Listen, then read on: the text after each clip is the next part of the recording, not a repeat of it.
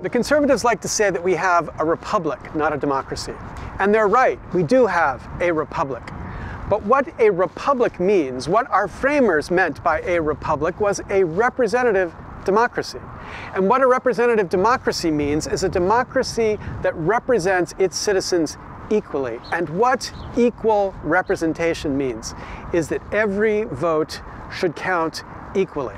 But that's exactly what the winner-take-all system in the states denies. It doesn't count every vote equally. It throws away votes based on the contingency that they happen not to be in the majority in that state.